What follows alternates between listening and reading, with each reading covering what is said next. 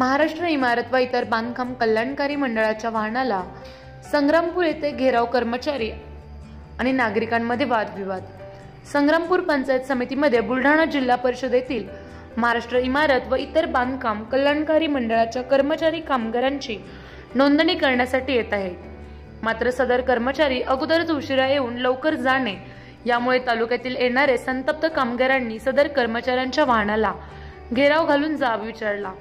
एकोणीस जुलै रोजी सदर कर्मचारी हे दुपारी एक ते दीड वाजे दरम्यान पंचायत समिती संग्रामपूर कार्यालयात आले व त्यांनी दुपारी साडेतीन वाजेपर्यंतच कामगारांचे अर्ज स्वीकारले व आता वेळ संपली म्हणून आपले दप्तर गुंडाळून वाहनात जाऊन बसले व जाण्यासाठी निघाले त्यावेळी वाहनाच्या तालुक्याच्या दुरून दुरून आलेल्या संतप्त जमाव आणि सदर कर्मचाऱ्यांचे वाहनाला घेराव घालून लवकर का जात आहे याचे जाब विचारले असता दुकान निरीक्षक कार्यालयाचे लिपिक भादुपोता मॅडम यांनी सांगितलं की आमच्या वरिष्ठांनीच आम्हाला लवकर परत येण्यास सांगितले.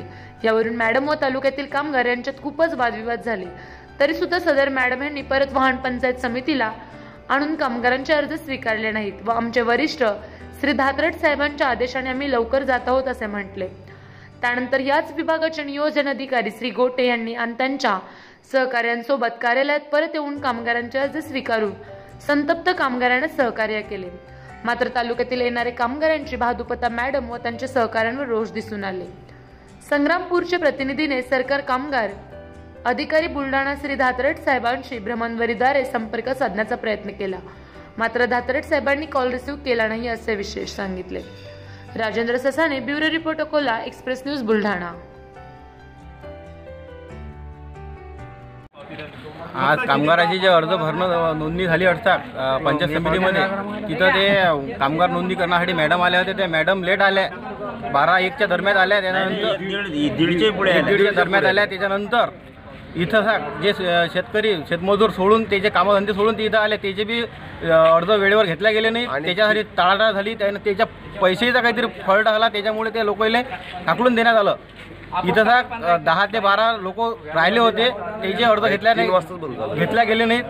साडेतीनच्या दरम्यान ते बंद केलं त्यानं. आणि त्यांनी दात्रा आणि साहेबचं लोक नाव सांगितलं. लोकांना रिक्वेस्ट केली की बा अ, या लोकांचे अर्ज घेऊन घ्या आम्ही घरी चाललो होतो. त्यानं कोणत्या प्रकारचा अर्ज स्वीकारले नाही परत गेले. नंतर डबल चालू केलं. नाही नंतर असं म्हणत की आमच्या अधिकाऱ्यांनी आम्हाला तीन वाजेपर्यंत सांगितलं होतं. दात्रक साहेब यांचं नाव सांगितलं त्यांनी. दात्रक साहेबांचं नाव सांगितलं. दात्रक तीन साहेब यांचं नाव सांगितलं त्यांनी. हा तीन महाराष्ट्र इमारत व इतर बांधकाम कामगार मंडळाअंतर्गत संग्रामपूर पंचायतीमध्ये बांध जे आपले कामगार मजूर आहेत या सगळ्या विविध बांधवांच्या इथं नोंदणी सुरू होत्या.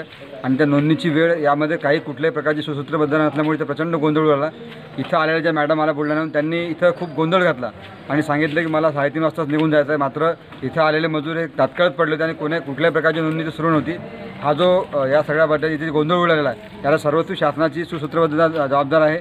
या अनुषंगानं ये- येणाऱ्या काळात जर त्यांना इथे यायचं असेल त्यांनी इथल्या कामगार जे नोंदणी करतात त्यांना विशिष्ट वेळ द्यावी आणि पूर्ण वेळ त्यांनी हजर असणं गरजेचं आहे.